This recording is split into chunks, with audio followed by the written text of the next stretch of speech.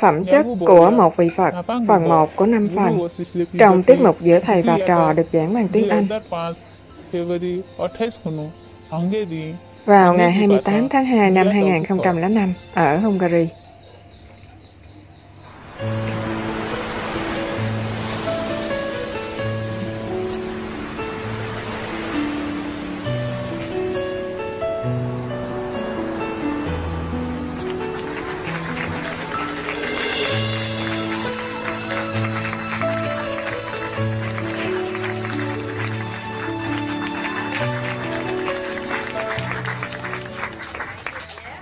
Vị có thích không? Dạ thích. Thích hả? Đẹp ạ. À. Tốt lắm. Quý vị ăn goulash thuần chay. Có ngon không? Dạ ngon. Tại sao lại cười? Có ngon không? Dạ ngon. Đầu bếp giỏi. Dạ. Lần đầu tiên ở đây nấu được món ngon. Sau khi mấy nhà hàng Tàu đi hết.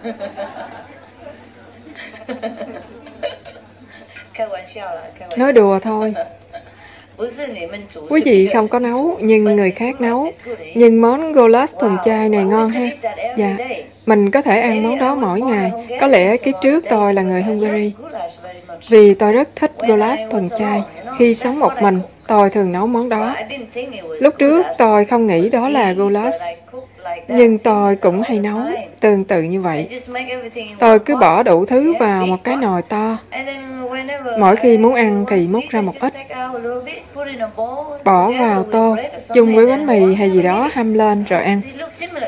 Trông hơi giống như goulash. Nó giống vậy đó. Tôi rất thích món này. Dễ ăn lại dễ tiêu. Thôi được. Một ngày nào đó mình sẽ ăn món này ở nhà hàng Tàu. Mình có bao nhiêu người ở đây? Dạ khoảng 80. Chỉ 80 thôi à, quý vị biết sao không? Ngày mai khỏi nấu ăn. Tôi sẽ nói tiệm Tàu. Nấu đem tới đây vài món thuần chay. Mình chỉ cần mang vào ăn thôi. Ồ.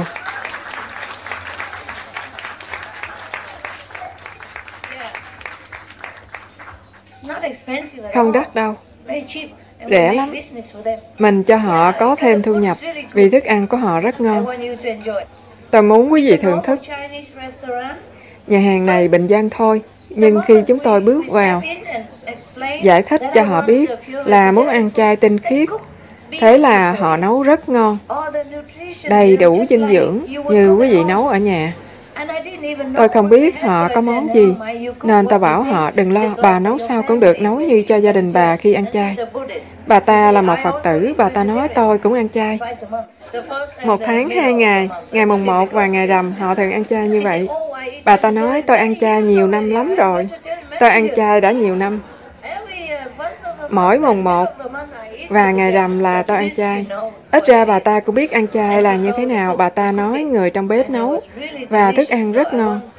Cho nên tao muốn mời quý vị đem tất cả quý vị ra nhà hàng rất khó.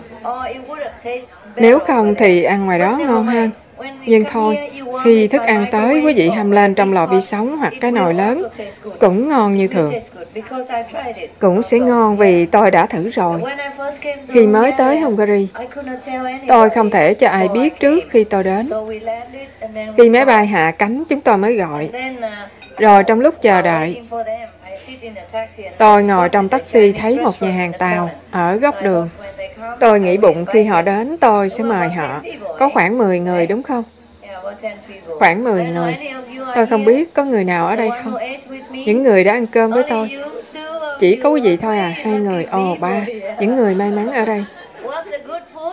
Thức ăn hôm đó có ngon không? Ngon chứ hả? Dạ ngon lắm, rất ngon, cảm ơn sư phụ. Tôi chỉ muốn xác định cho đồng tu biết. Quý vị đã cảm ơn tôi rồi, đừng cảm ơn tôi nữa. Nếu không tôi lại phải đãi quý vị một bữa ăn nữa. Không đâu, tôi nói đùa thôi. Ngày mai không phải nấu ăn. Mọi người ngồi thiền. Rồi thức ăn sẽ tới. Nếu thức ăn ngon và mọi việc suôn sẻ, mình sẽ đặt mua mỗi ngày quý vị không phải nấu.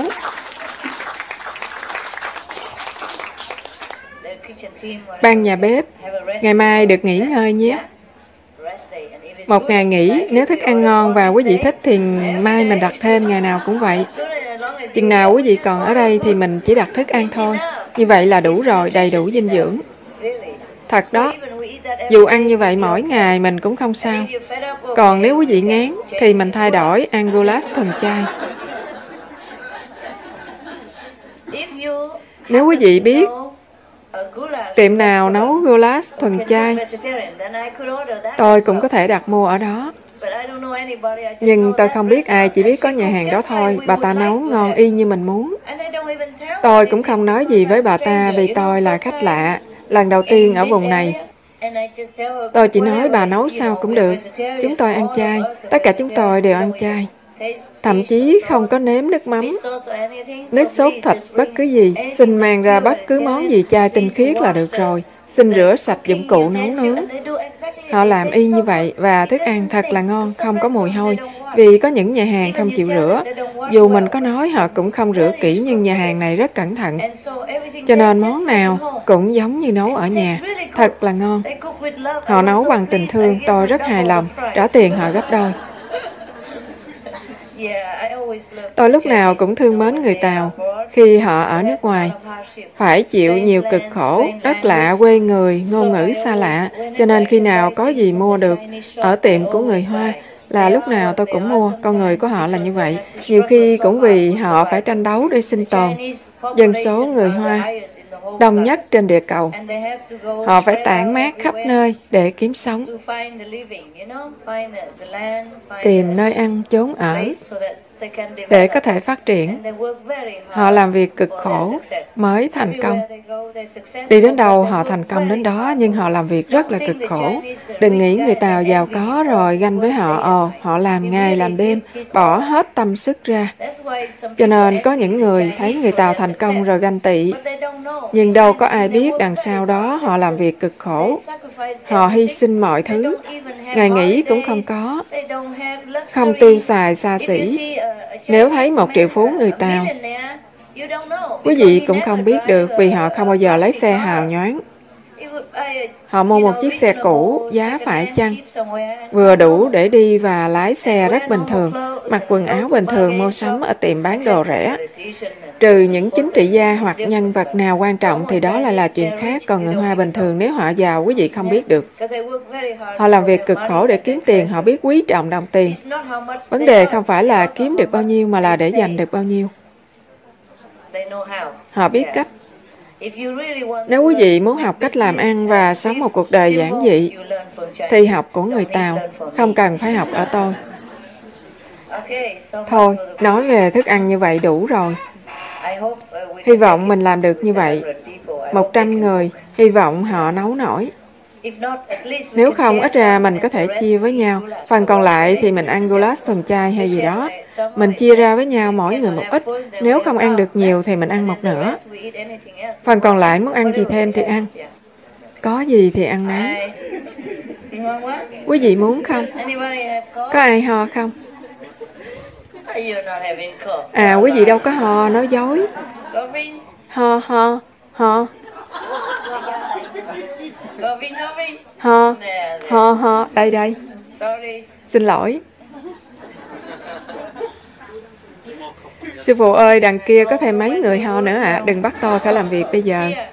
Đây, có ai thật sự cần thuốc ho không? Ho hả? Thật không? Nó không làm mình đau vì nó lạnh. Quý vị bị đau họng đúng không? Đây, đây, còn ai nữa? Đây, một viên, hai, ba. Chia ra. Nó là thuốc đó, đừng có nuốt.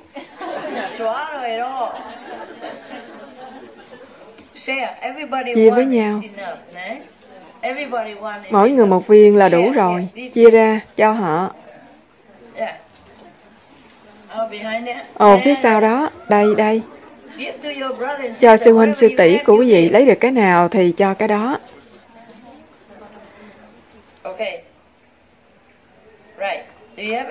Có muốn hỏi tôi gì nữa không? Có, có.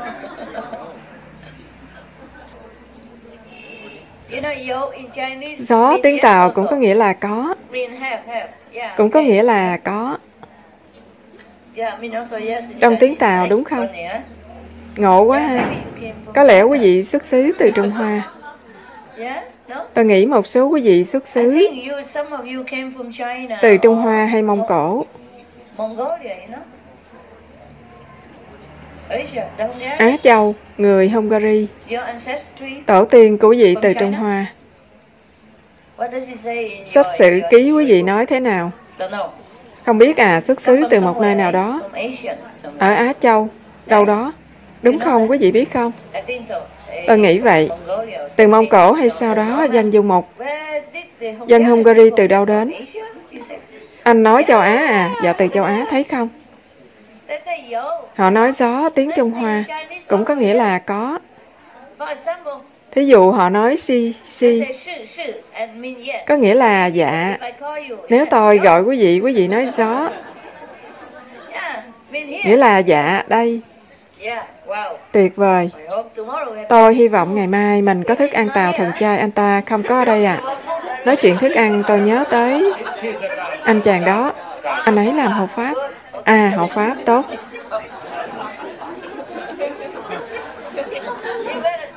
Quý vị nên cung cấp cho anh ta 3, 4, 10 phần. Tôi đang thắc mắc tại sao anh ta không hoan hô vì nếu nghe nói tới thức ăn thì anh ta sẽ hoan hô nhưng ta không có ở đây. Tốt. Tôi đặt mua trên 80 phần ăn là vì lý do đó. Thêm chút ít. Thêm phần ăn. Người dư giả cần có dư. Để phòng hờ. Mấy chú chó cũng biết anh ta cần thức ăn.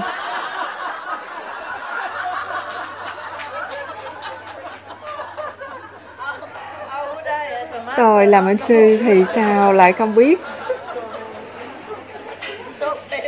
Nổi tiếng quá Vừa mới đến là mấy chú chó đã mang thức ăn tới cho anh ta.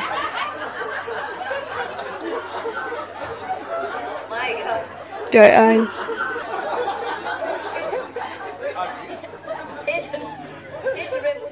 Chưa tới nơi Người ta đã biết tiếng Danh tiếng anh ta đi nhanh như vận tốc của ánh sáng. Nó tới trước anh ta. Mấy chú chó đều để dành bánh mì cho ảnh. Ồ, thật tình tôi không biết đánh vàng tên mấy chú chó. Cho tôi biết cách viết đúng được không? Bo do hay là bo do? Bo do. Bo do. Có chữ Y phải không? Do có chữ Y. và do, được rồi. Còn chú kia, Lady và Thomas vì tôi cứ nghe Romek, Romek, format, format tiếng Pháp. Họ gọi là romex. Anh ta hiểu rồi, romex. Qua do thì được rồi, Thomas, Linda, tôi biết, tôi biết Linda, cái đó dễ. Khi tôi gọi, họ biết. Đánh vần sai một chút, không sao, họ tha lỗi cho tôi rồi. Cảm ơn quý vị. Họ có thích ăn gulas không? Có cho chó ăn gulas không? Món gulas thuần chay đó. Có hả? Mỗi chú một tô à? Họ có ăn hết không? Họ nếm thôi sao? Không ăn à? Dạ, không ăn hết. Khoảng một phần ba. Dạ. Tốt, tốt. Dường như chó ở đây không thấy đói. Tôi chỉ muốn chia sẻ thức ăn với họ, vì họ cũng trong gia đình phải vậy không? Họ đã sống ở đây trước khi mình tới. Họ canh chừng chỗ này. Thành ra chúng ta chỉ vì gô lá thuần chay ngon quá tôi muốn chia sẻ với họ. Nếu như ngày khác, thì tôi không chia. Mấy chú chó của tôi cũng vậy. Nếu có thức ăn ngon là tôi để dành một ít cho họ. Nếu là thức ăn bình thường ngay cả tôi cũng không muốn ăn thì tại sao chó lại phải ăn? Chó của tôi như vậy đó. Nếu tôi không thích thì họ cũng không thích. Không chịu ăn. Bộ tưởng tụi tôi là chó hay sao? Tôi không ăn cái đó. Mấy chú này ngoan, quý vị nhận nuôi họ bao lâu rồi? Từ khi mua căn nhà tôi biết, nhưng bao lâu rồi? Họ đã có mặt ở đây khi chúng con mua căn nhà này cách đây hai năm rưỡi, tất cả mấy chú chó. Chủ bỏ đi mà họ không cảm thấy sao à? Dạ, không sao hết. Họ chấp nhận quý vị ha? Dạ. Ồ, tốt, nhanh lắm ạ. À. Tốt. Họ có nhiều tình thương phải không? Dạ. Bao giờ trong quay phong mạnh mẽ là thế, nhưng khi đến chỗ tôi, anh chàng rút đầu vào lòng tôi. Anh chàng muốn được vuốt ve. Không phải chỉ tới thôi mà còn rút vào người tôi như thế này. Thế là tôi phải vuốt ve anh chàng. Còn chú chó nhỏ héo ăn lắm. Chú nhảy lên vì bé quá, cho nên nếu tôi có đồ ăn, chú phải nhảy chồm lên quần áo của tôi. Chú không muốn làm vậy, nhưng quên, thức ăn là tất cả, mình chỉ cần thức ăn. Chú nhanh lắm, chú chó nhỏ rất nhanh. Tốt. Nếu ngày nào có món gì ngon, quý vị chia cho chó. Nếu không có thì cũng không sao. Cho dù đi khỏi đây, tôi cũng để lại quý vị ngân quỹ để nuôi chó. Anh đừng ra ngoài mua sô-cô-la nhé. Nếu đi khỏi đây, tôi sẽ tặng một số tiền nuôi chó để mua format thuần chay và những món ngon. Họ sắp già rồi, biết không? Dạ. Đã mua giường cho họ rồi, đúng không? Dạ. Ngày nào anh cũng phải giữ cho họ được khô ráo nhé. Dạ, thí dụ ngày nào ẩm ướt, rồi họ nhảy lên giường. Thì ban đêm anh nhớ hoặc mang ra ngoài phơi nắng. Rồi ban đêm đem vô cho họ. Dạ. Phải săn sóc cho họ như săn sóc người già. Dạ, họ càng ngày càng già, mình cũng vậy. Khi già, mình hay đau nhất. Tôi có mua ba miếng gỗ làm sàn. Họ có dùng không? Dạ có. Để hôm nào chân họ bị ướt, bị lạnh cả ngày, họ có thể đến chỗ khô ráo một chút, nghỉ ngơi hoặc tắm nắng. Dạ con hiểu. Nếu hôm nào tuyết cao quá, thì lót đá hoặc gạch bên dưới, nâng miếng gỗ lên một chút. Như vậy lúc nào cũng khô ráo cho họ, đừng có trải gì lên trên. Dạ, nếu trời mưa nước sẽ thấm qua thì lúc nào cũng được khô. Nhất là chú chó nhỏ, rất thích được khô ráo. Dạ, giống như chúng ta nếu mình dù họ dai sức nhưng không phải mạnh mẽ suốt đời. Nếu cả ngày phải ngâm chân, trong tuyết, trong mưa, như vậy không dễ chịu cho lắm. Dạ, con hiểu. Cảm ơn anh. Chắc anh biết tôi là người rất thương chó, thương loài vật. Tôi không có ý làm anh buồn. Anh đã chăm sóc tốt lắm rồi. Nhưng bây giờ họ đã già hơn. Cần thêm sự đặc biệt chú ý. Nhưng anh đã săn sóc rất tốt. Anh lót rơm cho họ, giữ chỗ ở sạch sẽ cho họ ăn lòa tuyệt lắm rồi. Có điều là họ già đi giống như anh vậy. Hai bên cùng già như nhau, chăm sóc cho nhau. Có câu hỏi nào không? Nếu không, mình cộng tu nha. Không có câu hỏi à? Không có. Tốt. Mấy giờ mình đi lấy thức ăn tôi đã bắt đầu thấy đói bụng rồi. Một giờ trưa đi lấy được. Một giờ trưa. Quý vị để dành bụng nha. Ăn gì thì ăn, ăn điểm tâm buổi sáng. Rồi tới một giờ, từ một giờ trở đi, quý vị muốn ăn lúc nào thì ăn. Đi lấy một ít hâm trong lò vi sóng, hoặc ăn lạnh cũng ngon. Thức ăn ngon lắm. Bà ta nấu giống như trước hả? Có rong biển, đậu hũ và đủ thứ chứ? Dạ có, giá đổ. Anh ấy nói từ đây đến đó mất một tiếng. Nên phải đi 2 giờ thức ăn mới mang tới đây tốt quá 2 giờ. Được, ăn ngon. Thức ăn là tất cả những gì chúng ta có, bỏ cũng được, nhưng sao lại phải thế? Mình còn gì nữa đâu. Mình đã ít tiền hơn trước rồi, vì không muốn kiếm thêm. Bây giờ còn gì nữa? Ngoài thức ăn phải không? Cứ ăn, cứ thưởng thức.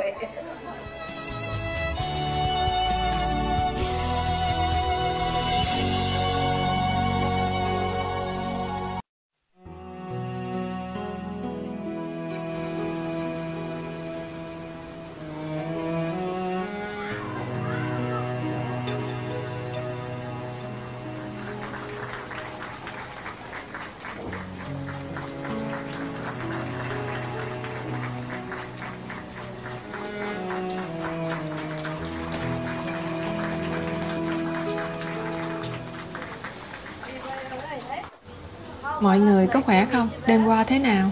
Cho tôi biết có khá hơn không? Dạ có. Tôi ngồi cho tới 4 giờ rưỡi sáng. Rồi phải đi vì cần gọi điện thoại. Gọi ra nước ngoài giờ giấc khác nhau. Mọi người khỏe không? Dạ khỏe. Quý vị có khỏe không? Quý vị khỏe ha? Tôi biết quý vị khỏe, tốt, tốt lắm. Tôi chỉ nói 10 phút thôi, sau đó quý vị nghỉ ngơi. 4 giờ nghỉ một chút ha. Thức ăn tàu tới rồi.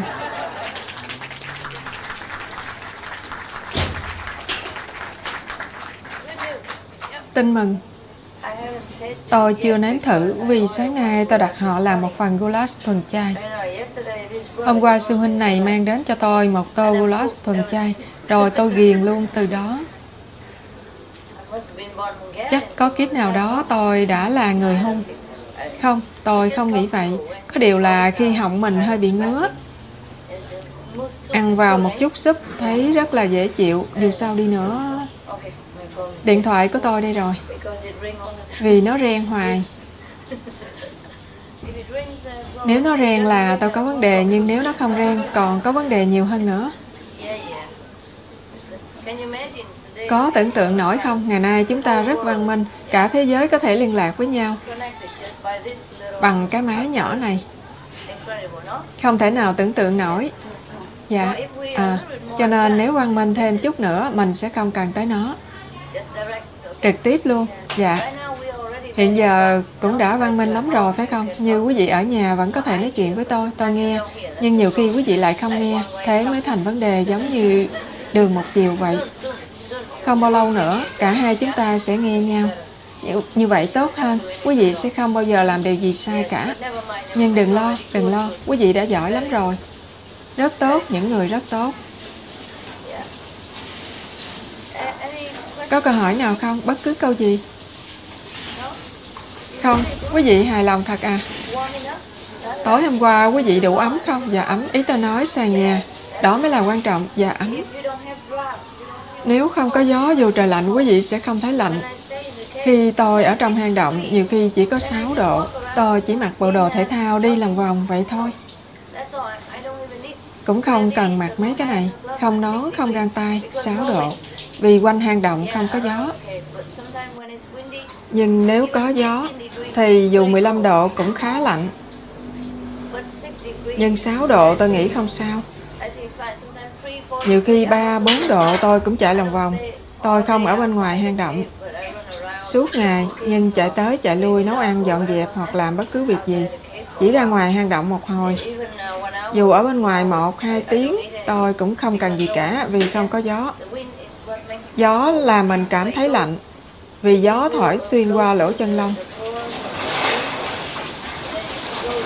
Vào tận trong xương tủy, cái đó mới làm cho mình khó chịu. Bây giờ chỗ nào mình cũng có màn dày, bây giờ họ văn minh rồi. Đúng lúc, vì quý vị dọn vô.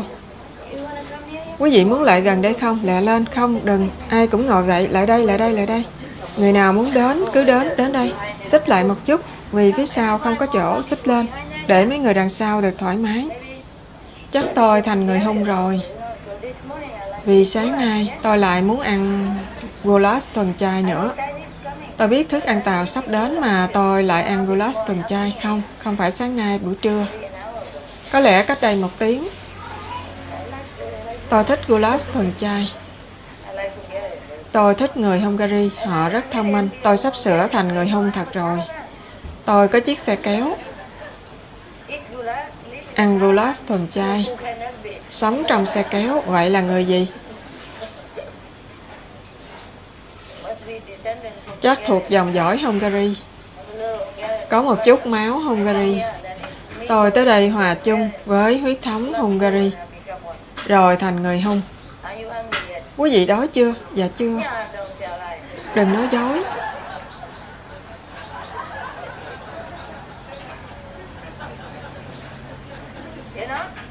Không đói sao? Đói một chút. Có thể nói không đến nỗi nào, nhưng lại nói không. Đói chút chút ạ. À. Có thể đói một chút. Hoặc có lẽ quý vị chưa nghĩ tới, nhưng khi thấy thức ăn tàu, trong mấy cái hộp nhỏ, trong suốt, quý vị nhìn sẽ có cảm thấy ôi ngon quá, ngon quá.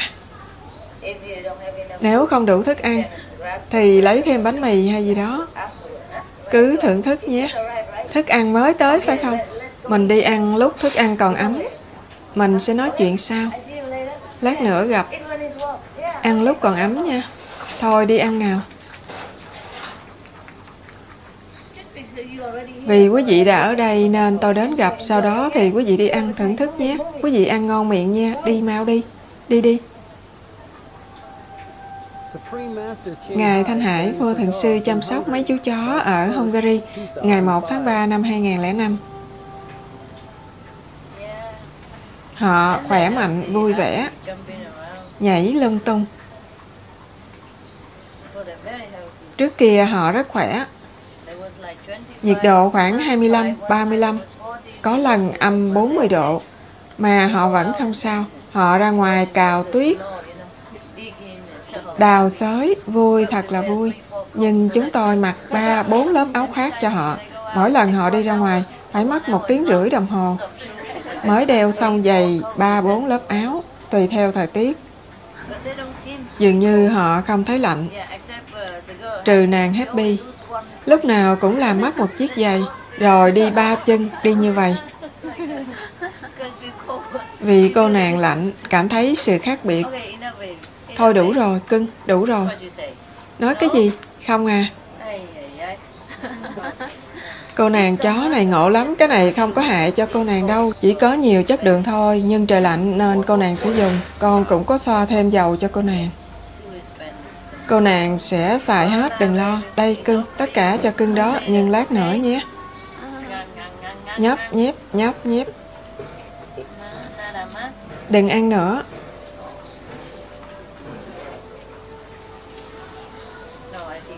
Thôi, tôi nghĩ đủ rồi. Không cho ăn nữa, dạ. Người giống như là con gái của ta. Uống bia không cồn, không ngừng. Nhưng cô nàng cũng thích ăn bánh thuần chay, bất cứ cái gì bánh thuần chay hay là của mọi người. Cô nàng ăn còn nhiều hơn tôi, không dừng. Người thon như người mẫu, nàng kia thì sồ sề hơn, thòng xuống chỗ này chỗ kia. Khi cô nàng đi là mọi thứ đều lúc lắc, cả thân hình đều lúc lắc. Ai cũng nói không nên cho chó ăn nhiều quá. Nhưng phương châm của tôi là thà sống ít đi một ngày mà sung sướng, và phải. Được ăn no nê sung sướng. Sống thêm một ngày nữa để làm gì khi mà ngày nào cũng khổ vì thèm ăn. Đúng không cưng? Hơi to hả? Nhưng cô nàng ăn hết. Người đẹp quá. Đây là loại chó lý tưởng đúng không? Không mập quá. Cô nàng mấy tuổi rồi? Dạ gần 3 tuổi. 3 tuổi? Dạ. Chúng con không biết chính xác ngày nào vì tình cờ tìm thấy cô nàng. Quý vị tìm thấy cô nàng à? Chúng con tìm thấy cô nàng ở ngoài đường khi chúng con đang tìm đến chỗ này. Chúng con tìm thấy cô nàng. Hiểu. Chung với ba chú chó kia, Vậy là họ biết nha. Dạ. Chó đẹp như vậy. Ai lại nỡ bỏ rơi? Dạ. Có lẽ đi lạc. Không... Cô nàng không đến từ vùng này. Tôi biết, tôi biết. Chúng con tìm thấy. Họ nói với con là người ta thả họ ra từ trên xe. Vậy hả? Ai nói? Có người thấy hả? Ở chỗ mà chúng con tìm thấy cô nàng. Có một ông hay đến đó cho chó ăn Nên ông ta biết Ông ấy đã, ông ấy đã nuôi hai chú chó ở nhà bà mẹ. mẹ Không phải mẹ Bà vợ, bà vợ không muốn nuôi thêm chó nên ông ấy, nên đi, ông ấy đi quanh quẩn. Lái, lái xe, xe đi lòng đem đồ ăn cho mấy chú chó đồ ăn. Ồ mấy chú chó hoang đó. Một người rất tốt ông ta ở đâu? Mình phải tặng ông ta một ít tiền. Dạ không có sao. Để ông ta. Người này rất đứng đắn. Bởi vì chúng con nói chúng tôi muốn nuôi con nàng chó này nhưng bây giờ chúng tôi đang tìm chỗ ở gấp. Cho nên nhờ ông giữ cô nàng một tháng được không Ông ấy trả lời, đúng ra thì phải nói chuyện với vợ tôi. Bà vợ, rồi sao nữa? Chúng con cùng đi với nhau, rồi được phép. Bà vợ nói được, chúng tôi sẽ nuôi một tháng. Chúng con nói, chúng tôi sẽ trả mọi phí tổn, nhưng ông ấy nói, không, không cần. Không à, không à, ông ta có tiền không, có giàu không? Không, vậy quý vị trả tiền, chúng con có trả ạ. À. Chúng con cố gắng trả, chúng con trả tiền cho mọi thứ. Tao biết chúng con muốn đưa thêm cho ông ấy. Nhưng ông không nhận, con nói nhưng đây là cho mấy chú chó, không phải cho ông. Vẫn không nhận, chúng con nói xin ông lấy một chút một chút thôi. Tốt, một ít thôi ạ, à. như vậy tốt. Nếu gặp ông ta nữa thì hỏi ông có nhận tiền tặng cho mấy chú chó không? Hay là mua vài túi đồ ăn, đem cho ông thì ông sẽ nhận. Dạ, con sẽ làm vậy. Khi mua đồ ăn cho chó thì mua dư ra và đem đến cho ổng. Con sẽ làm như vậy. Format thuần chay hay bất cứ gì đồ ăn vặt thuần chay, bánh bích quy, thuần chay, đồ ăn cho chó thuần chay. Thăm viếng mấy chú chó, mấy cái giường cho chó mà mình mua đâu rồi. Tất cả ở đây sư phụ. Có một cái giường lớn ở bên ngoài. Bên ngoài hả? Dạ, hiện giờ chúng con đang sắp xếp. Chúng con phải cho họ xuống xe. Quý vị cho họ ăn thế nào nên đừng làm phiền mấy chú chó. Cưng ăn gì rồi? Ở đó họ có cho cưng ăn gì không? Cái gì đó, cái gì vậy? Cảm ơn cưng đã đến, chào nhé. Cảm ơn cưng, giỏi quá. Thân thiện quá, thông minh quá. Thân thiện và ngoan, ngoan, ngoan. Ồ, anh chàng bỏ đồ ăn xuống để đến đây chào tôi. Ôi là đi, cưng cũng ngoan lắm. Cô nàng ngoan đến vậy, chào bô vô, chào cưng. Lúc nào ngươi cũng để chân lên áo trắng của ta. Đóng dấu hả? Đóng dấu lên người của ta, dấu của chó. Bây giờ chú chó cũ ganh tị bô vô, ngươi cất sao không? Lạnh hả? Cưng ổn không? Cảm thấy thoải mái chứ? Lạnh quá, lạnh quá. Có sao không cưng? Cảm ơn, cảm ơn, cảm ơn. Ôi con gái ngoan, cưng ngoan quá. Cảm ơn cưng đã không nhảy lên. Ồ, cưng giỏi quá, thông minh quá.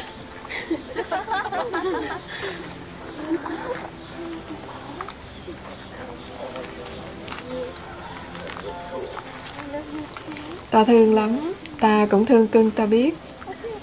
Đừng có nhảy lên, đừng có ganh tị. Không được nhảy, không được nhảy. Nhảy, nhảy, nhảy. Format thuần chay. Cưng có được ăn ngon không? Họ chỉ cho cưng ăn bánh mì thôi sao? Dạ sư phụ. Bánh mì cũng phải có format thuần chay hay bơ thuần chay chứ. Đây bánh mì nướng. Format thuần chai Với bơ thuần chai đây. Không, con gái. Ồ, con gái ngoan, nhìn kìa. Ngồi xuống giỏi quá. Cưng giỏi nhất. Ồ, cậu này cũng vậy, giỏi, ngồi xuống, giỏi lắm. Hôm qua ta bảo ngươi rồi, bây giờ ngày nào ngươi cũng ngồi. Con gái ngoan quá, nhìn kìa. Con gái ngoan. Giỏi quá. Giỏi, ngồi đi, giỏi, ngồi đi cưng. Này bu vô, con ngồi đi, ngoan quá. Ôi, bọn họ lấy hết của con rồi. Ôi, nước lạnh. Hết rồi, chỉ còn giấy gói thôi. Không được nhảy. Như vậy đủ rồi, đủ rồi nha. Cho họ thêm bánh mì bơ thuần chay, dạ sư phụ. Sau khi ăn phó mát thuần chay, con sẽ ăn ít bánh mì nướng để vườn bình, nếu không sẽ có vấn đề. Buổi tối, ta muốn cho các con vào toa xe của ta bên ngoài lạnh lắm. Rất lạnh. Con sẽ quen thôi, bô vô. Bô vô, con ổn chứ? Anh chàng thật săn chắc. Ôi, giờ con cũng ngoan rồi, tôi bảo chú ngồi có một lần mà bây giờ lúc nào chú cũng ngồi. Ôi, con gái ngoan quá. Cảm ơn, cảm ơn. Ngươi cũng vậy, giỏi quá. Con gái giỏi lắm. Bánh mì nướng đâu rồi? Sắp xong rồi sư phụ. Bánh còn trong lò nướng. Không cưng. Hết rồi, hết phô mát rồi. Giường ở ngoài kia. Sao giường lại ở ngoài kia? Tôi nghĩ họ vừa không biết giường này là của con sao? Không ai nhảy lên hết sao? Giường cho con đó con biết không? Ta mua tất cả thứ này cho con, có hiểu không? Tất cả cái này là cho các con. Còn một cái nữa ở đâu đó. Bây giờ ta đem nó vô nhà cho con nha. Chà, ngoài này lạnh quá.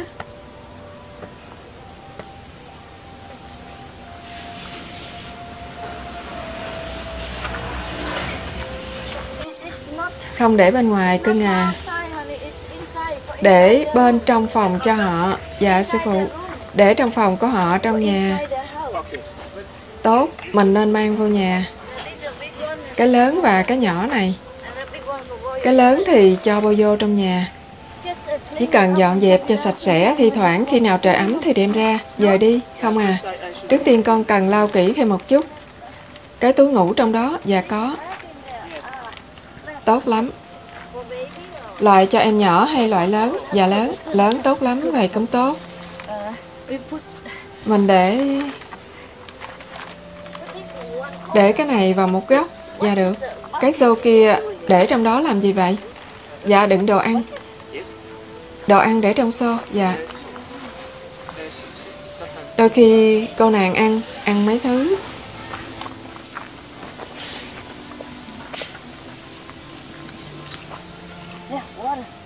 Nước uống, nước đâu? Có một tô ở đây ạ. À. Đây cưng, nước đây vô vô.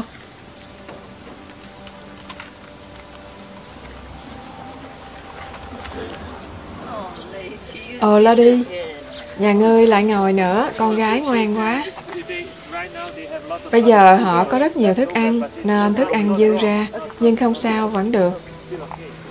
Đó là những gì anh ấy nói. Thôi, được rồi được rồi, Tốt rồi. Đó là những gì cô nàng muốn. Trời lạnh quá.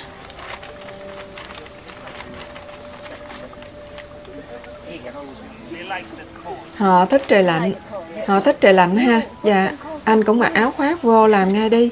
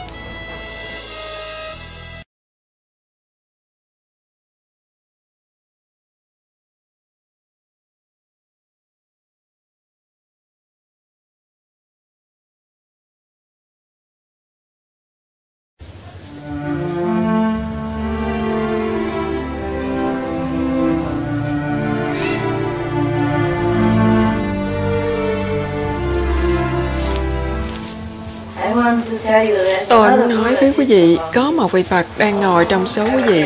Đoán thử xem.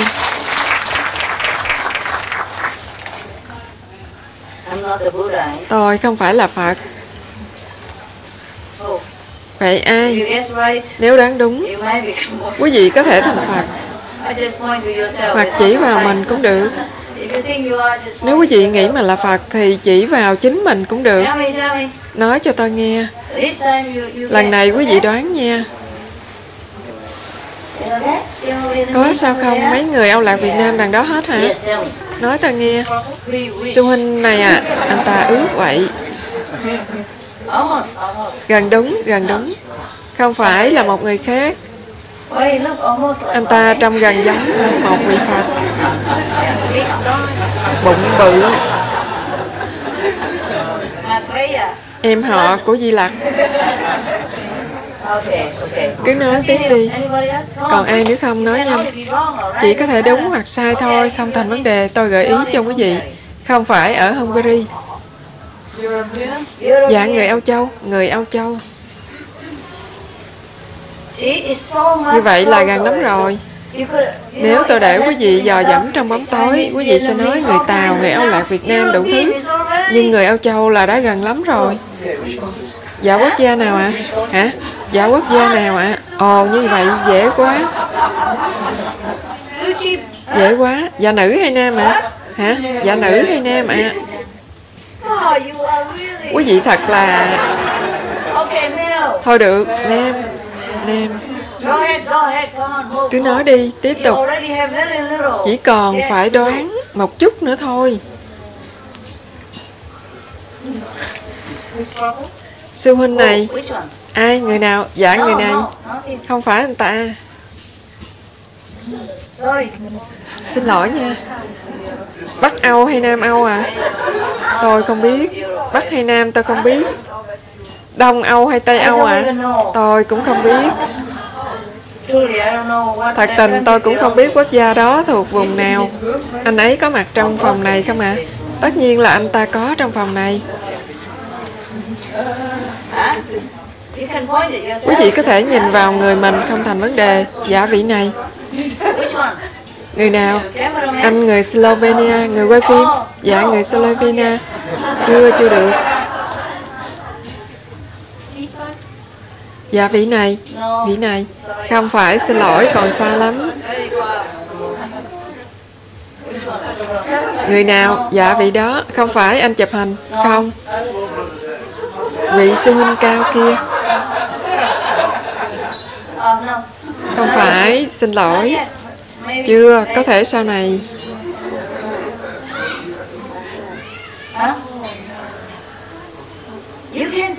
Quý vị không đoán được à? Quý vị thật không đoán được à? Quý vị thật không biết chút nào à? Dạ không. Tu hành nhiều năm rồi mà không có mắt. Đương nhiên là bề ngoài gạt người. Tôi đã nói quý vị rồi, dáng vẻ bên ngoài đánh lừa quý vị. Trời ơi, thôi không sao. Tiếp tục nữa hay là không? Đủ rồi à, chịu thua chưa? Dạ, bỏ cuộc rồi. Đương nhiên nếu quý vị cứ chỉ tiếp tục, thì người cuối cùng sẽ là vị đó. Tôi đã cho quý vị nhiều manh mối rồi. Người nào mà chúng con không chỉ à? Thì là người đó hả? Cứ tiếp tục chỉ đến khi không còn nữa thì người cuối cùng sẽ là người đó. Người nào mà quý vị chỉ, tôi muốn hỏi quý vị tại sao? Người nào mà quý vị mới nói trước đó, người đầu tiên là ai, tại sao? Anh ấy rất nhẫn nại, bao dung. Nhưng đó không phải là điều kiện duy nhất. Anh ta nhẫn nại, bao dung, tận tâm, cống hiến. Nhưng mình cần hơn như vậy. Rất nhiều điểm. Người nào đó nấu ăn ngày hôm nay ạ? À? Cứ nói tiếp đi, tại sao? Vì anh ấy phục vụ mọi người ạ. À? Trên thế giới này ai cũng phục vụ nhau mà. Còn ai nữa không? Người nào sắp đi về và người nào mới đến hôm nay có ai mới đến không? Tôi sẽ cho kẹo thần trai. Hôm nay, dạ không ạ. À. Đến đây lấy kẹo. Quý vị ở đó tôi thảy tới. Đây cho cô. Cảm ơn sư phụ. Đây, cho anh. Anh từ đâu đến? Dạ, từ Nga ạ. À. Nghe, còn cô, dạ Pháp ạ. À. Hai người bên Pháp, đúng không? Ba người mới đến.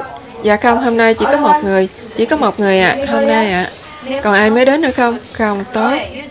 Nói cho ta biết tại sao. Sư huynh này ta biết rồi. Anh ta cũng giống một vị Phật chứ hả? Trang bị đầy đủ. Không sao, tôi không trách quý vị. Tôi không trách quý vị đã chọn anh ta. Anh ta rất dễ thương. Dạ dễ thương ạ, à. tôi cũng thích anh ta nữa. Nhưng không phải vì tôi thích anh ta, không phải vì anh ta phụng sự cho cá nhân tôi, mà tôi chọn anh ta làm một vị Phật. Tôi không làm vậy được, dù người đó là ai. Nếu họ là Phật thì họ là Phật. Không có liên hệ gì đến tôi. Dạ, bây giờ quý vị biết rồi, anh ta rất dễ thương, một người lịch sự. Anh ta rất tỉ mỉ, còn giỏi hơn cả phụ nữ nữa. Cho đến giờ anh ta là một thị giả khá. Anh ta biết tôi muốn gì ngay cả trước khi tôi hỏi. Anh ta là một người tốt, nhưng tôi rất tiếc, không phải vì vậy mà tôi chọn anh ta làm một vị Phật. Chuyện này rất nghiêm túc, công bình, đúng vậy. Còn người tiếp theo tại sao, bất cứ người nào, tại sao lại là anh ta? Tại sao lại là người quay phim vân vân? Giải thích tôi nghe. Giải thích cho tôi biết. Để quý vị biết mình đang làm gì. Tôi biết quý vị đang làm gì nhưng quý vị phải biết tại sao. Nói cho tôi nghe. Bởi vì anh ấy khiêm nhường. Ai? Anh người Slovenia, vị thường trú, vị thường trú mới. Dạ phải. Quý vị nghĩ anh ta khiêm nhường. À, quý vị nghĩ vậy. Tốt, tốt. Anh ta có vẻ khiêm nhường nhưng không phải vậy. Xin lỗi nghe sư huynh. Không có nghĩa là anh ta là người xấu, nhưng khiêm nhường không phải là đức tánh của anh ta. Khiêm nhường không phải là phẩm chất hàng đầu của anh ta. Anh ta có nhiều đức tánh, nhưng khiêm nhường không phải là số một. Người kế tiếp, ai? Tại sao? Người quay phim, tại sao? Tập trung, tập trung. Anh ta luôn tập trung vào sư phụ qua máy quay phim. Có lẽ thêm điểm, thêm giá trị, thêm điểm. Anh ta cần thêm một chút điểm nữa để đạt được điều đó. Quý vị chọn ai kế tiếp? Người này à, anh ta thì sao? Không biết. Anh ta vẫn còn xa một chút. Còn chưa đến biên giới nữa, sư huynh này tại sao? Vì anh ta hỏi lung tung hả? Anh ta còn phải đi xa hơn nữa khi nói về một đẳng cấp khi nói từ đẳng cấp Atula lên đẳng cấp thứ hai đẳng cấp thứ hai lên đẳng cấp thứ ba ba lên bốn mỗi lần chỉ là một đẳng cấp. Nhưng không phải chỉ là một đẳng cấp thôi. không phải là một con số mà là một cõi mênh mông rộng lớn của sự thành đạt về tâm linh. Chứ không phải giống như ồ đó là thiên đàng ồ đó là địa ngục. Nó không phải là một căn phòng hoặc là một ranh giới. Nó là một nơi rất mênh mông rộng lớn. Quý vị chỉ vào người nào nữa đâu. Người nào nữa? Tại sao? Anh ta có rất nhiều tình thương. Cho người khác, đúng, điều đó tốt. Thực hành tốt. Thực hành tốt. Có thể về sau, trong tương lai nhưng đường anh ta đi vẫn còn dài nhưng không dài lắm. so với những người khác dài. người nào kế tiếp? Tại sao vị này à tại sao lại chọn anh ta? Tại sao? Anh ta thiền rất nhiều và rất yên lặng. Lúc nào cũng hướng nội. Điều đó tốt thiền nhiều. quý vị không biết anh ta nghĩ gì trong lúc thiền. Anh ta rất yên lặng phẩm chất tốt nhưng vẫn còn xa quá xa. Anh ta có thể đi xa nhưng vẫn phải còn đi rất xa. Anh ta vẫn còn rất xa. Người kế tiếp.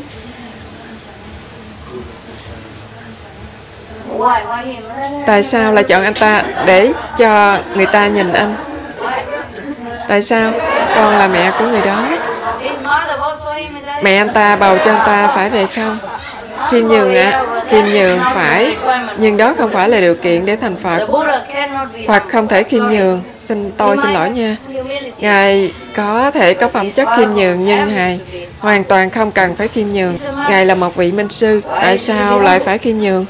Nhưng ngài có thể có phẩm chất đó vì ngài đã được lớn lên trong sự khiêm nhường được trưởng thành trong một hoàn cảnh tốt cha mẹ giáo huấn cho ngài khiêm nhường. Hoặc có thể ngài không thành đạt được gì nhiều trong đời hoặc ngài khiêm nhường do DNA hoặc thói quen hoặc hoàn cảnh. Nhưng một vị Phật không cần phải khiêm nhường hiểu chưa Quý vị phải khiêm nhường, nếu không quý vị còn là học trò, chưa đạt được. Nhưng Phật không cần phải khiêm nhường. Cho nên nếu quý vị xét ai qua sự khiêm nhường như vậy không đủ. Tôi chỉ nói vậy cho quý vị nghe thôi, tôi đang dạy cho quý vị. Không phải tôi chỉ trích người này, người nọ hoặc bất cứ ai. Tôi dạy quý vị bằng cách giải thích cho quý vị về phẩm chất mà quý vị ngưỡng mộ xem đó, xem đó có đủ là dấu hiệu của một vị Phật hay không. Hiểu chưa? Nó gạt người ta rất nhiều. Nếu một anh chàng rất ngọt ngào, tươi cười, khiêm nhường, quý vị có thể nghĩ anh ta là một người tốt. Không nhất thiết. Có thể anh ta đã được huấn luyện để làm như vậy. Tiếp viên hàng không lúc nào cũng nhã nhặn, tươi cười, nhưng cô ta không thể nào là thánh nhân. Người kế tiếp là ai? Con đoán là vị sư huynh đứng gần người quay phim. Người đó, dạ người đó, người có tóc hả? Dạ tóc dài gần máy sưởi. Ồ, tại sao? Bởi vì anh ấy đi đến từ đâu đó rồi anh ấy thấy máy quay phim cản lối. Thế là anh ấy để gọn máy vào, con nghĩ có thể anh ấy có trực giác mạnh. Có thể và con có thể. Ít ra quý vị có mắt, quý vị quan sát tốt tốt, nhưng không phải anh ta. Chỉ là sự quan sát. Anh ta có khả năng quan sát điều đó tốt anh ta để ý. nhưng không có nghĩa là một người để ý kỹ thì tự động thành Phật. Có thể anh ta để ý vì đã là nữ giới trong tiền kiếp nên chi tiết hơn. Chúng ta thay đổi, đôi khi mình đổi từ nam sang nữ, từ nữ sang nam. Nhiều khi quý vị thấy một người nam có nữ tính, nhưng không có nghĩa là anh ta đồng tính. Anh ta chỉ chi tiết hơn, để ý hơn. Và có những nữ giới có hình dáng hoặc tánh tình như người nam. Vì người đó kiếp vừa rồi là nam giới. Chuyển đổi liên tục. Người nào nữa? Không còn ai nữa đúng không?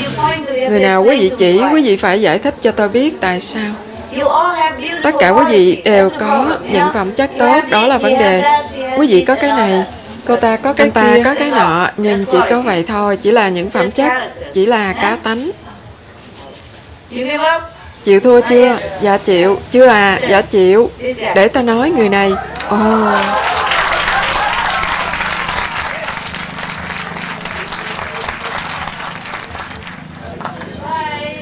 Ngạc nhiên ha. Hoan nghênh, chúc mừng.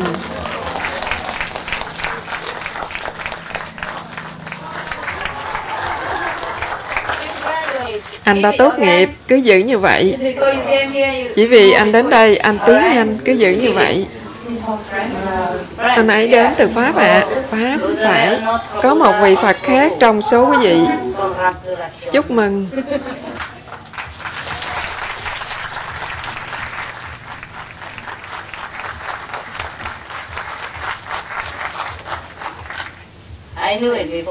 Tôi biết trước khi anh ta đến. Tôi hỏi thẻ đặc biệt. Thôi không sao. Anh ta cần được hối thúc một chút. Anh ta đã gần đạt được rồi, tôi biết anh ta sẽ đạt được. Cho nên tôi hỏi thẻ. Tôi đâu có thành thông. Tôi biết tên của anh ta vì tôi hỏi thẻ. Đây, mình lại ăn mừng nữa. Đây, Mấy người khác đừng buồn. Đừng buồn. Tôi biết anh ngạc nhiên nhưng không sao. Tốt, cứ tiếp tục. Cứ tiếp tục là anh đừng thay đổi. Hoặc thay đổi để tốt hơn đương nhiên rồi. Bởi vì anh ta chưa phải là vị phật tối cao hiểu không? Anh ta mới tốt nghiệp thôi điểm tốt. Nhưng cần thêm một chút nữa. Nhưng ít ra anh là phật khi ra trường bác sĩ dù điểm thấp hay cao anh cũng là bác sĩ. Dạ chúc mừng.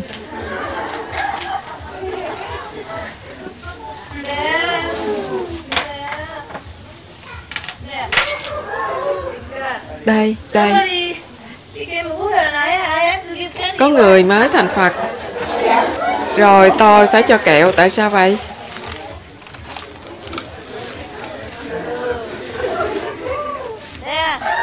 Đây.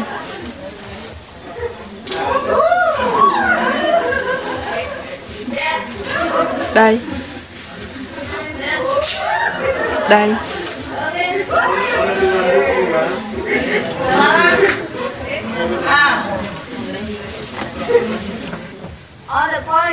Tất cả những phẩm chất của đồng tu mà quý vị nêu ra đều là những phẩm chất tốt, những đức tánh xuất sắc, cho nên tôi mong là họ sẽ giữ những phẩm chất đó và tôi hy vọng là quý vị sẽ noi gương họ.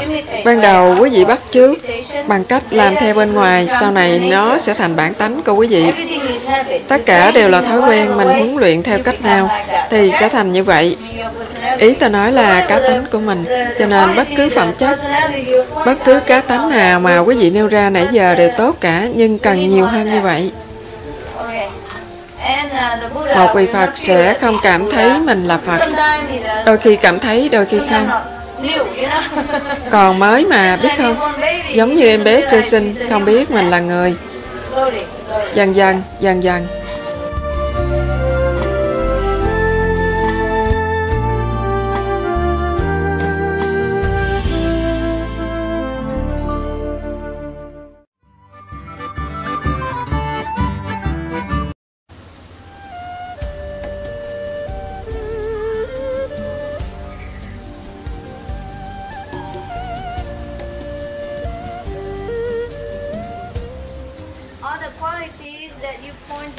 Những phẩm chất của đàn tu mà quý vị nêu ra đều là những phẩm chất tốt, những đức tánh xuất sắc. Cho nên tôi mong là họ sẽ giữ những phẩm chất đó và tôi hy vọng là quý vị sẽ noi gương họ. Ban đầu quý vị bắt chước bằng cách làm theo bên ngoài, sau này nó sẽ thành bản tánh của quý vị. Tất cả đều là thói quen, mình huấn luyện theo cách nào thì sẽ thành như vậy. Ý nói là cá tánh của mình. Cho nên bất cứ phẩm chất, bất cứ cá tánh nào mà quý vị nêu ra nãy giờ đều tốt cả, nhưng cần nhiều hơn như vậy. Một vị Phật sẽ không cảm thấy mình là Phật. Đôi khi cảm thấy, đôi khi không. Còn mới mà, biết không? Giống như em bé sơ sinh không biết mình là người. Dần dần, dần dần. Có câu hỏi gì không? Có câu hỏi tại sao lại là anh ta, những người thành Phật? Họ đã tu hành từ trước rồi. Đẳng cấp họ không thấp lắm. Cho nên dễ hơn. Nó dễ hơn. Có những người đã là đệ tử của tôi trước đây, nhưng họ chưa đạt được đẳng cấp thứ năm. Anh chàng này trước đây là đệ tử của người khác. Tôi chỉ tiếp tục đẩy anh ta lên một chút, không phải kiếp này mà những kiếp trước. Anh ta đến từ cảnh giới thứ ba. Anh ta đến đây để được thăng tiến trong đẳng cấp tâm linh. Mục đích đặc biệt của họ là vậy. Họ đến đây chỉ vì lý do đó cho nên quý vị thấy họ rất tận tâm. Chỉ một đường mà đi thôi. Có thể họ có vợ, có chồng nhưng mình không cảm thấy họ quyến luyến nhau nhiều hay gì cả. Quý vị có cảm thấy vậy không? Không, hiểu chưa? Dạ, đúng vậy. Họ không quyến luyến hoặc bám víu nhau hoặc có cảm giác chiếm hữu nhau. Tôi rất tiếc làm quý vị thất vọng vì Phật, vị Phật trông không giống như vậy. Tôi cũng không biết cá nhân anh ta nên quý vị không thể nói tôi chọn. Vì tôi quen biết vì anh ta là bạn của tôi hoặc vì anh ta đã từng giúp đỡ tôi. Đây là lần đầu tiên tôi gặp anh ta. Có thể anh ta đã gặp tôi trước đây nhưng tôi không nhớ gì về anh ta cả. Trước đây anh có đi dự bế quan không? Dạ có nhiều lần, nhiều lần à. Ở Anh à, ở Anh Quốc. Chỉ một lần thôi à. Dạ, ở Đại Hàn nữa. Đại Hàn nữa à. Tôi không nhớ ra anh ta, xin lỗi nha. Không có gì riêng về anh ta bởi vì có nhiều người quá. Có thể tôi nhớ một chút. Ý nói là tôi không có quen thân cá nhân gì với anh ta, hiểu chưa? Đã hiểu. Thậm chí không biết gì về anh ta. Có thể tôi biết anh ta nhưng thí dụ tôi biết nhiều về cô ta hơn. Cô Thụy Sĩ họ hát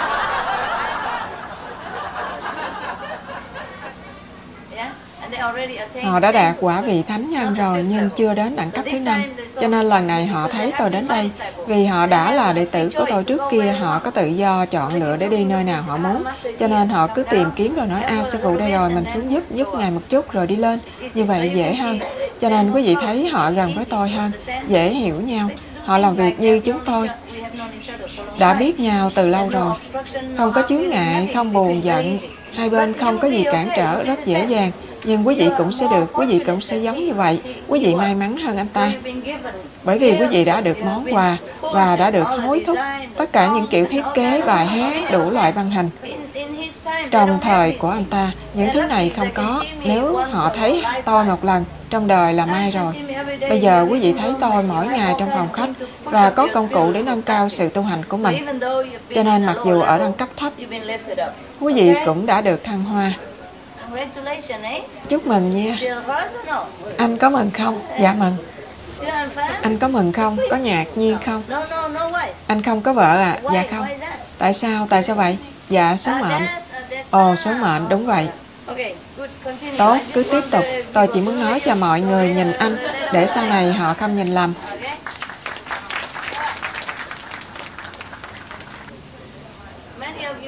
Nhiều người trong quý vị đã lên đẳng cấp thứ tư rồi, chỉ một phần ba, có thể hầu như là đẳng cấp thứ ba. Tôi sẽ không nêu ra cho đến khi quý vị lên đẳng cấp thứ năm.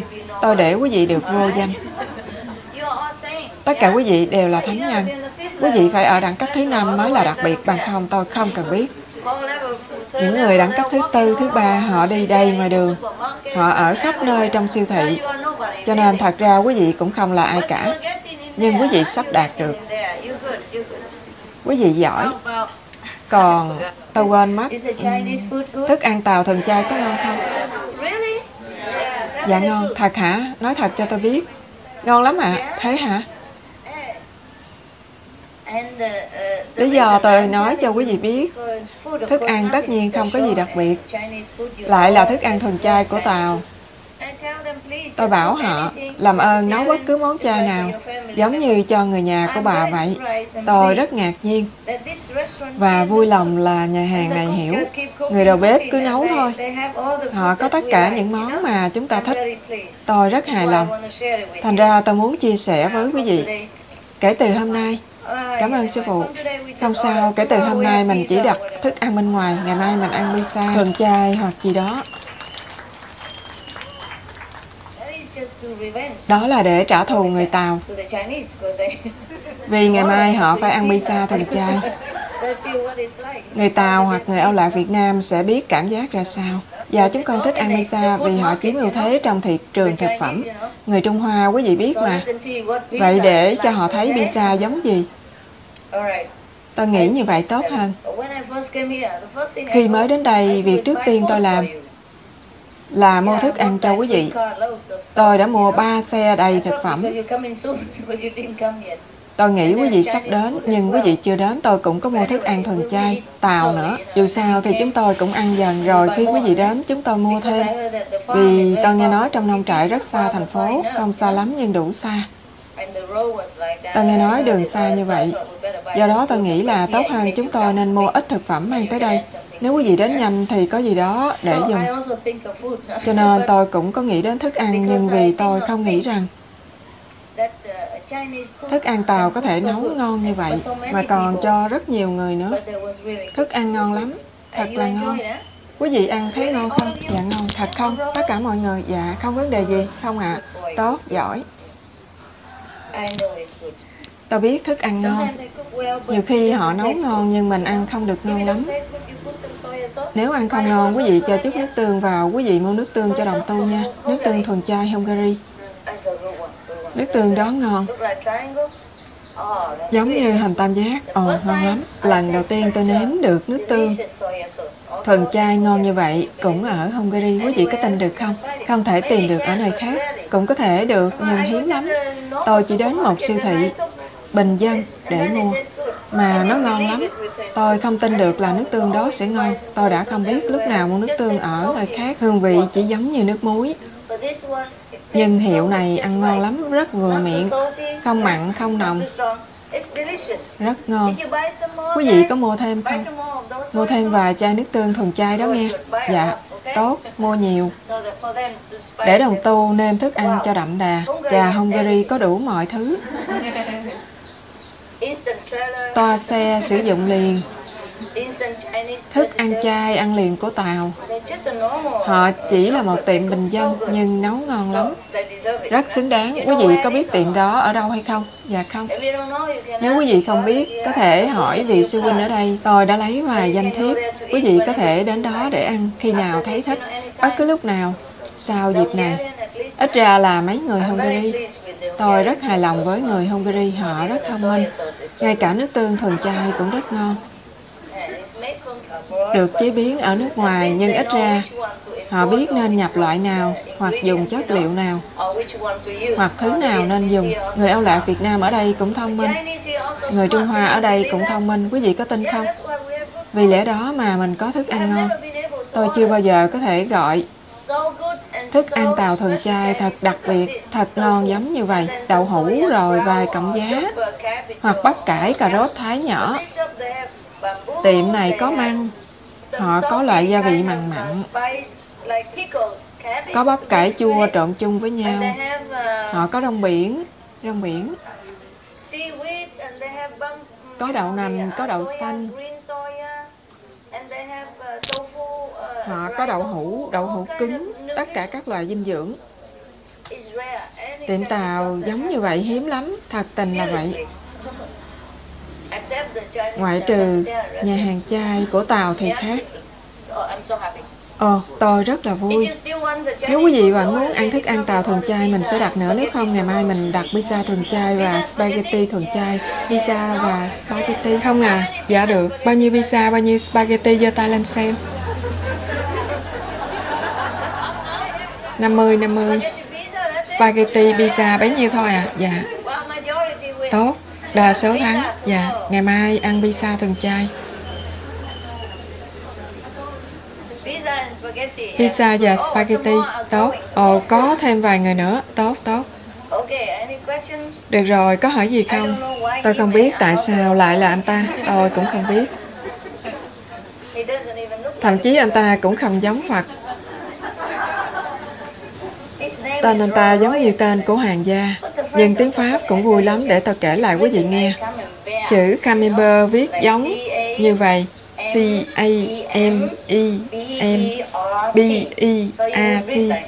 Nên quý vị đọc giống như Camembert đúng không? Nhưng họ nói không phải Camembert. Phải nói là Camembert.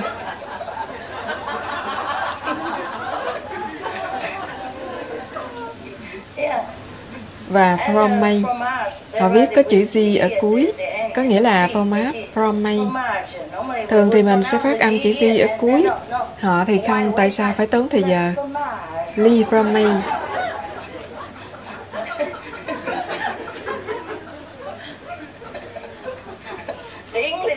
Người Anh quý vị phải phát âm cuối một chữ đúng không?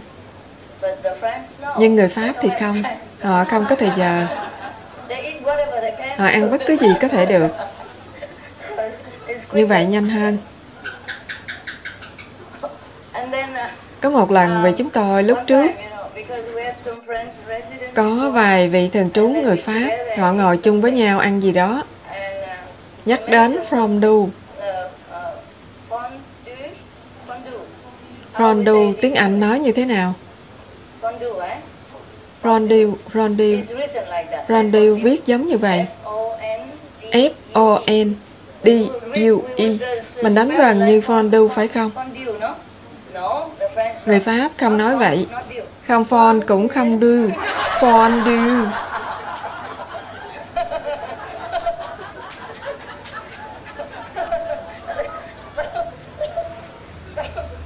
Họ nói chuyện với nhau. Ồ, tôi mới vừa ra ngoài ăn fondue thần chay, fondue. Fondue thần chay. Ở tiệm ăn Pháp rất ngon, vị thường trú Pháp không hiểu. Mấy vị ăn món Pháp nào vậy? Chúng tôi không có món đó. Một thầy giả của tôi vì đôi khi tôi cho anh ta biết cách phát âm tiếng Pháp. Tùy trường hợp nên anh ta biết. Anh ta nói không phải, không nói fondue mà phải nói là fondue. Rồi thì anh chàng kia hiểu ra, à, the fondue. Fondue.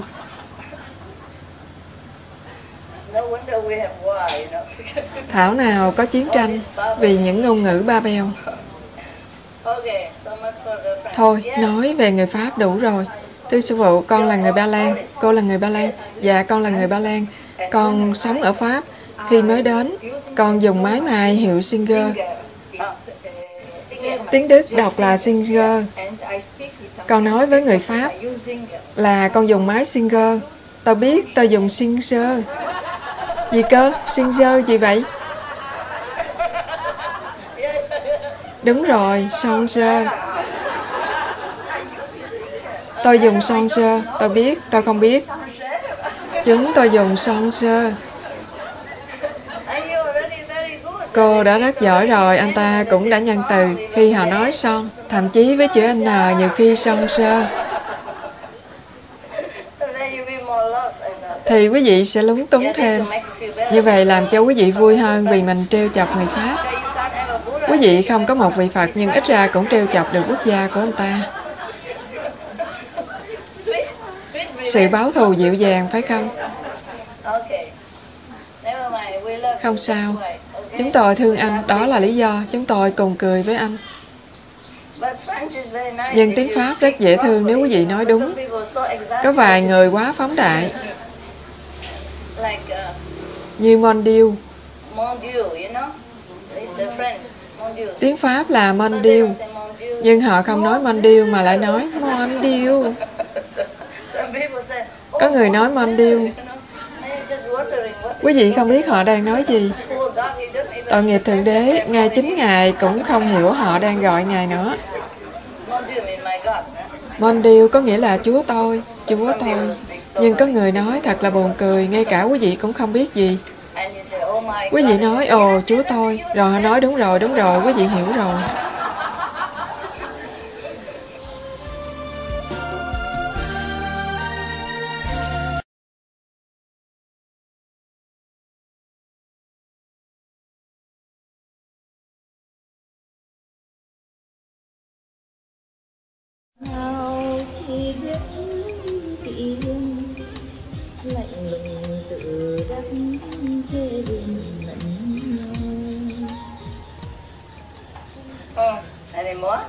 Còn gì nữa không?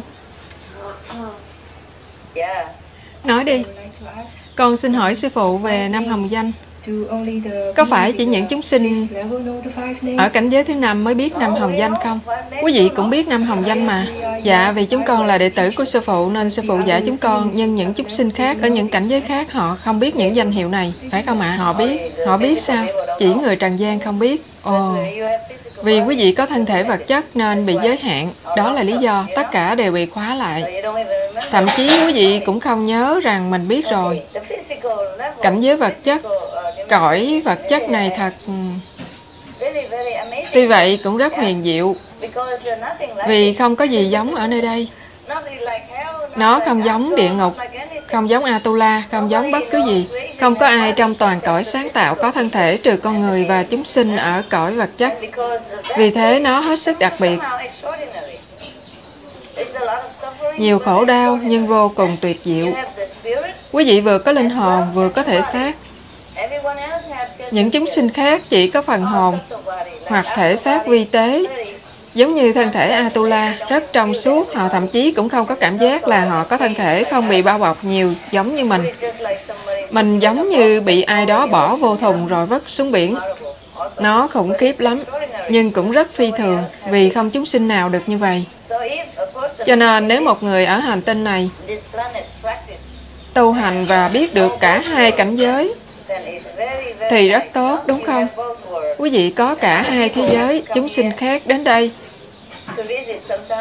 Thăm viếng đôi khi chỉ được 2 ngày, 15 ngày có nhớ hôm qua không?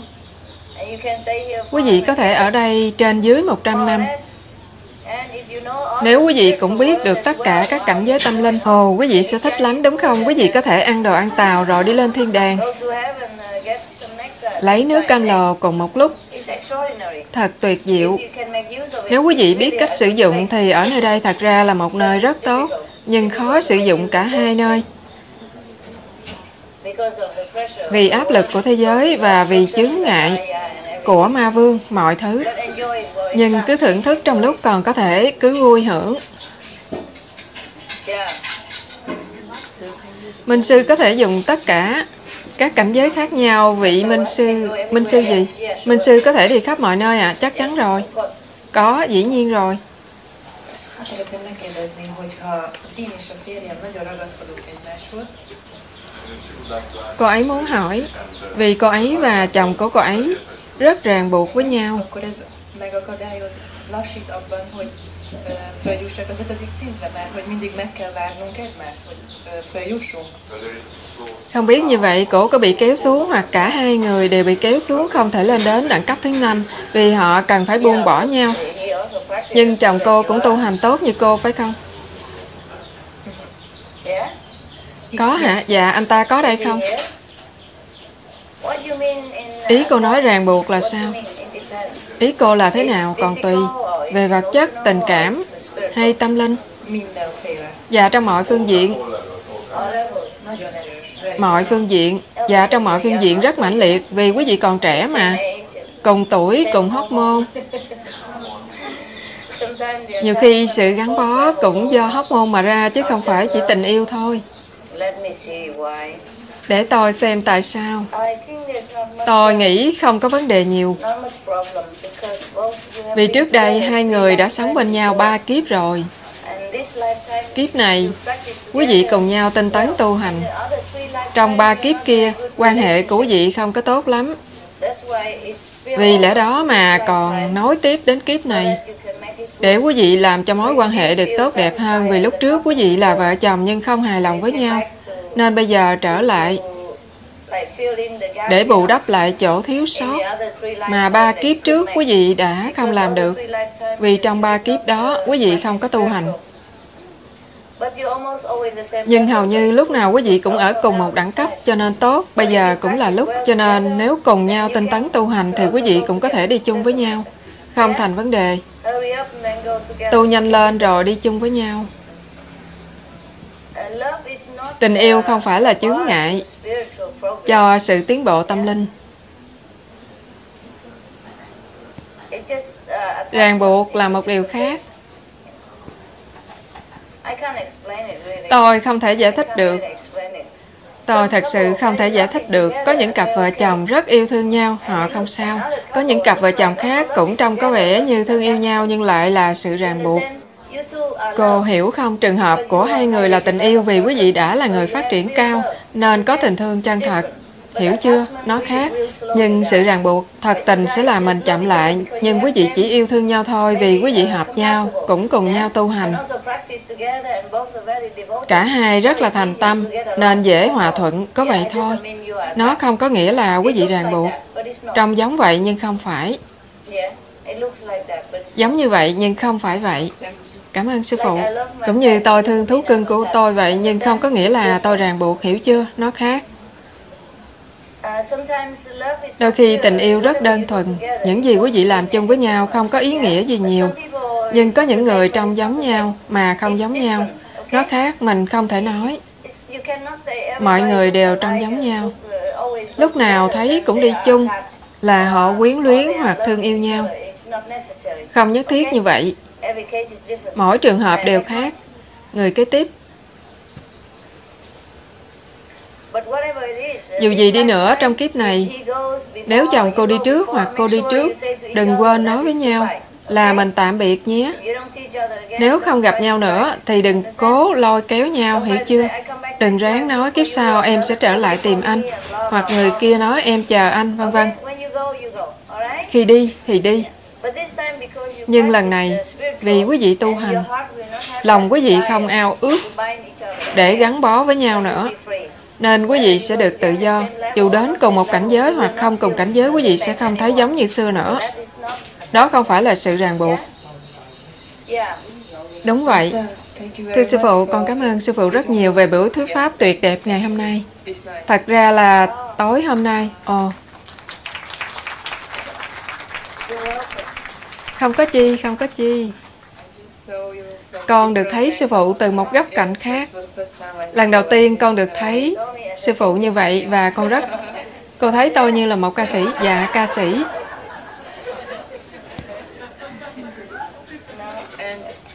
Con có một câu hỏi từ lâu lắm rồi về nghệ thuật. Cứ hỏi. Vì con là diễn viên kịch nên con thắc mắc vai trò của người nghệ sĩ trong thế giới vật chất này là gì ạ? Ngài có nghĩ nghệ sĩ là những người cầu thông với những cảnh giới cao hơn để mang xuống điều gì đó đẹp đẽ hơn cho địa cầu. Không phải lúc nào cũng vậy, không phải lúc nào cũng vậy à. Chỉ vì chúng ta có khuynh hướng nghệ sĩ bên trong. Vì chúng ta đến từ đấng tạo hóa nên đó là sự thôi thúc muốn sáng tạo những gì đẹp đẽ. Chúng ta đến từ những hành tinh đẹp đẽ, từ những thế giới mỹ miều. Chúng ta đến từ chân thiện mỹ.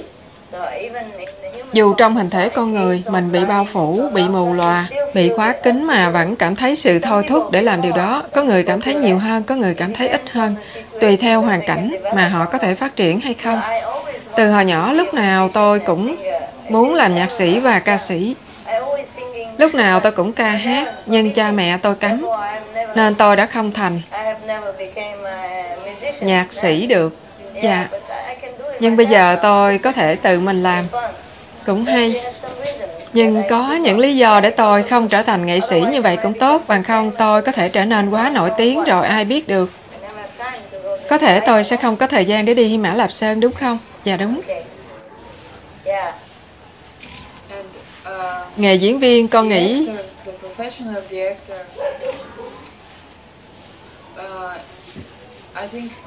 có phải vì diễn viên phải trở thành một người khác, phải. Con đã nghĩ về vấn đề này rất nhiều lần. Đối với một người tu hành, nếu lẫn lộn với những cá tánh khác, như vậy có nguy hiểm không? Hoặc trong trường hợp này, họ biết cách để bảo vệ chính mình không ạ? À? Cô đã bị hoang mang rồi, dù sao cô cũng không phải là người mà cô nghĩ đâu, không thành vấn đề. Chỉ là một vở kịch thôi, dạ, chỉ là một vở kịch, chúng ta cũng đang đóng kịch trong thế giới này, đóng những vai khác nhau. Dạ, đúng vậy, giống nhau. Không sao, miễn quý vị biết con người thật của mình là ai, thì không sao cả. Chỉ giống như thay quần áo vậy, đóng kịch cũng như thay quần áo thôi, không sao cả. Cảm ơn sư phụ. Chỉ đừng diễn vai phản diện, có vậy thôi. Đừng chọn vai phản diện. Dạ phải. Nếu có đủ điều kiện để chọn thì chọn là một người tốt, đại diện tốt hơn cho mình. Nhưng thật ra cũng không sao, có người diễn vai xấu, nhưng tôi biết họ hiền như chú gấu nhồi bông. Có người lúc nào cũng diễn vai tốt nhưng họ không có nghĩa là tốt, cũng không sao. Chỉ cần biết mình là ai, có vậy thôi, không sao cả. Còn nữa không? Con có thể hỏi chuyện này được không ạ? À? Chắc chắn rồi, đây. Con tu hành nhưng lại có bạn không tu theo pháp môn này. Nếu thí dụ lúc qua đời, con không cần phải trở lại đây nữa, nhưng nếu con cảm thấy rất quyến luyến người đó, ý cô nói bạn trai. Dạ, anh ấy không phải là bạn trai hay là bạn gái. Thí dụ nếu con có một người bạn trai, nếu con cảm thấy rất quyến luyến, thì con có thể chọn lựa để trở lại giúp anh ấy không ạ? À? Cô có sự lựa chọn. Nếu con muốn giúp cũng được, nhưng tôi không khuyên làm vậy. Cứ để cho anh ta bơi lội, anh ta gần bên cô và cô tu hành, mà anh ta vẫn không ảnh hưởng. Thì cô trở xuống để làm gì? Thật ra chúng con không phải là người yêu. Chúng con chỉ mới gặp nhau thôi, đã hai năm rồi, con không thể... Mới gặp à? Không ạ, à, chúng con gặp... Hai năm, chúng con gặp nhau khoảng 2002. Một tháng sau khi gặp nhau, con chỉ Cô chia tay, con bị cắt đứt liên lạc. Tại sao vậy? Chuyện gì xảy ra? Dạ không. Sau khi quen nhau được hai tháng, anh ấy đi sang nước khác. Sau đó con không thể quên được anh ấy. Tại sao cô phải quên? Dạ không, nhưng như là bất cứ điều gì xảy ra trong đời con sau này, từ trường của anh ấy luôn ở gần con, quấy rầy con, con nghĩ vậy. Cô có nghĩ là cô đã yêu anh ta không? Dạ không, chúng con chỉ là bạn. Đi chơi với nhau thôi, chúng con chưa có nói gì với nhau. Vậy thì đừng để ý. Nhưng từ trường của người bạn này và cảm xúc của con rất mãnh liệt. Con muốn được vui và kết thúc mối quan hệ này nên cô không vui phải không? Không ạ, à, vì cô nhớ anh ạ. À. Cô muốn ở cạnh anh ta, vậy thì tại sao không đi tìm anh ta? Nếu anh ta còn độc thân hay có người khác, hay có gia đình thì chuyện đó khác. Dạ, anh ta còn độc thân không? Dạ, con nghĩ vậy. Vậy thì tiến tới đi, đi tìm gặp anh ta. Nhưng con không nghĩ anh ấy không cảm thấy hiện giờ anh ấy cư xử giống như một người bạn thôi. Trước khi đi anh ta nói gì? Là bạn à, Dạ không, chúng con là bạn, đi chơi với nhau thôi. Chúng con chưa thú nhận với nhau lời nào. Nhưng cảm xúc đó rất mãnh liệt. Cứ nói cho anh ta biết, cô có cái này mà.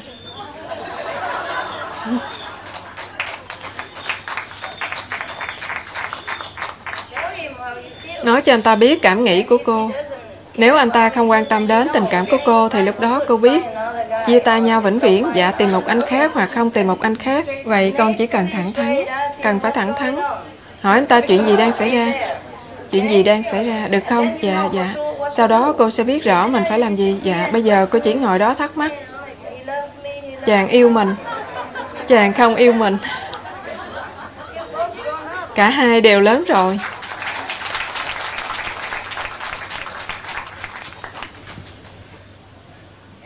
Từ trường quấy rầy. Cô đang tự quấy rầy mình thì có. Cô là người tu hành. Cô lại càng phải thẳng thắn và can đảm hơn. Cứ nói cảm giác của cô. Nếu anh ta không quan tâm thì cô cũng biết rõ. Cô biết là cô không nên làm phiền anh ta nữa và không nên nói chuyện nữa. Chỉ làm đau lòng hơn thôi. Còn nếu anh ta quan tâm, có thể anh ta cũng mắc cỡ. Vì không biết nói, anh ta không nói, cả hai đều không nói. Ai có thể nói dùm cho cô, Thượng Đế không thể giúp cô. Hiểu chưa? Dạ, cứ thẳng thắn. Chuyện này xảy ra bao lâu rồi? Hai năm rồi à? Dạ, từ 2002 đến bây giờ là ba năm rồi.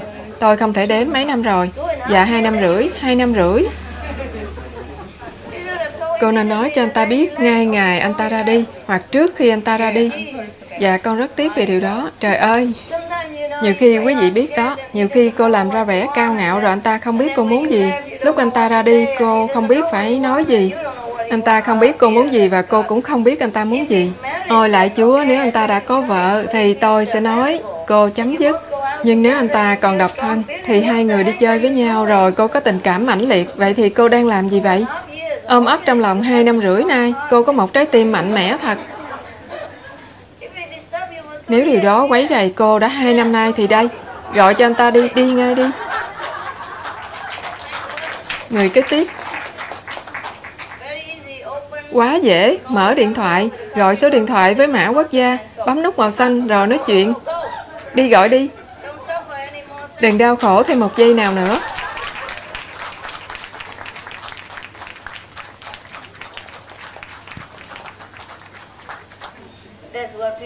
Người ta gọi đó là tình yêu làm cho con người mù quáng.